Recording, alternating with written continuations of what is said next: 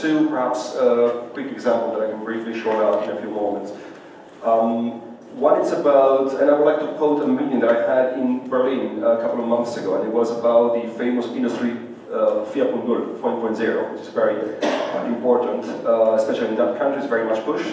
Um, one of the things I appreciate very much in that meeting is that they talk about digitalization of the industry, uh, and they cover all different aspects. Let's say not just the, for my at least, the most famous one, like digital inkjet, for instance, inkjet printing, or digital manufacturing, but also uh, communication along the supply chain, which is for us a very, very important point. Uh, so I think, first of all, it's important to see that when we talk about the impact of standards in digitalization of industry, there are most famous areas of work and there are less famous areas of works which might even be more critical for supply chain like ours, which is more than 170,000 uh, companies made of. Um, in that regards, there are obviously not single solutions because we have that many companies involved.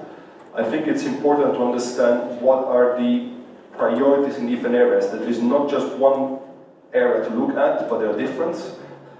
And in that regard, I think the most difficult thing is how to bring together the different initiatives on the standardization level, which takes place in different European countries.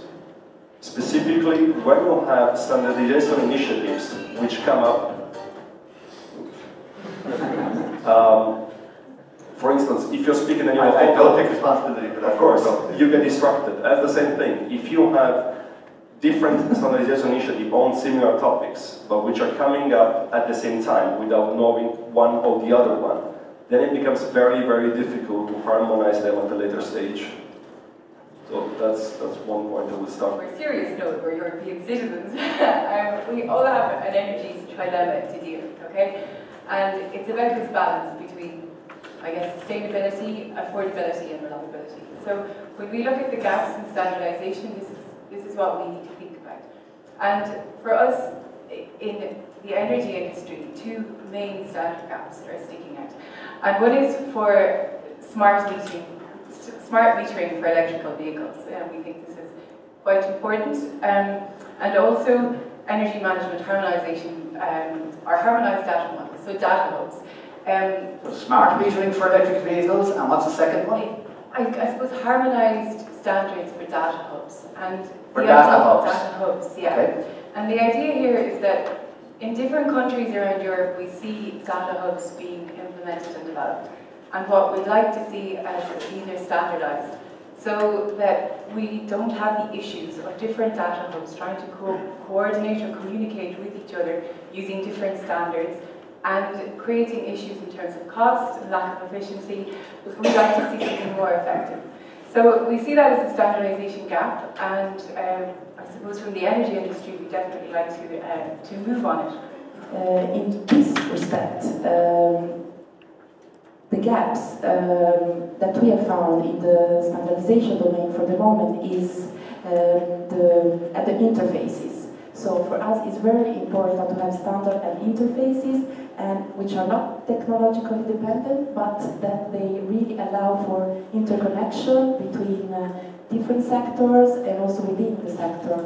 And um, in that respect, also semantic is important to have the same language and understanding each other.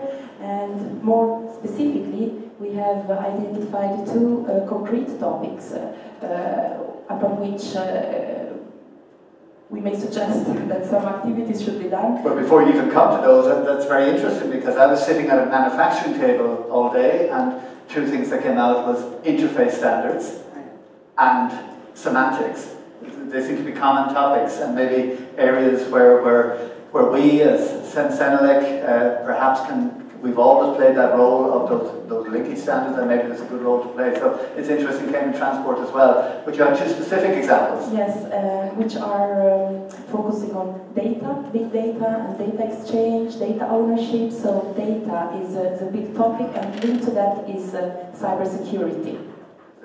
Well, I mean, standardization for me is a place where uh, the standards discussion is where there's tension in, in the IT industry between comply and innovation a lot of the conversations are happening in standardization.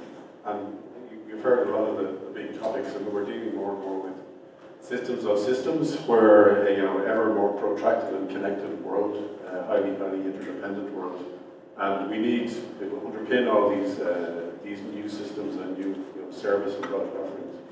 You need uh, systems that are able to interact with each other, and interoperate with each other. Um, but the kind of things that, that when I look at we're at with standardization, the kind of things I, I, I worry about, well, I think a lot about uh, we've heard themes of security and, and, trust and identity, but I think I think trust is a big thing. And we've seen, like last week in the UK, I mean, I think people need to trust. They need to know that their data. I think people are increasingly concerned about the devices know more about me than I know about me. You know, the, psychologists call it the Johari window. It's like things that are unknown, unknown to self but known to others. And they unknown to self, known unknown to, to others. self, but known to others. So you know, machines know more about you, and this being data may be being propagated in in, uh, in ways that outside the user's control. And I think I think um, users will want to assert that as we move into a much more interconnected world, where you know, uh, and especially as we uh, buy more and more services, users will want to know that there's some kind of uh, a trusted framework underpinning the kind of data that's being exchanged. So I think digital trust uh, is a very big thing. Um, and I think um, one of the other, uh, I think, opportunities, because I think that we in the IT industry have to do a lot more to interact with key verticals. I think right right now it feels kind of siloed. Uh, I mean, uh, I mean, practical example that I've encountered is uh, in the healthcare sector, Windows embedded driving a life support machine, the software becomes a, a medical device. So you have to comply with two different regulatory regimes. You have to um, understand uh, the boundary conditions where you might have different requirements of the vertical versus what the IT industry is saying. So, so I think there needs to be a lot more focus. We see some work in JTC1 on the area of IT governance and data governance. I think that's going to be a very big thing. And I think um, being able to facilitate a dialogue across boundaries between these key verticals on some of these big topics like security, like data governance, will, will effectively provide the kind of the, the trust framework that, that citizens will, will need if they're going to buy into this great new world that we I was going to just make some general comments. I heard at some point today that um, a very large part of the added value that will come in future from the ICT industry will be from traditional industries. It's the embedding of ICT into traditional areas now.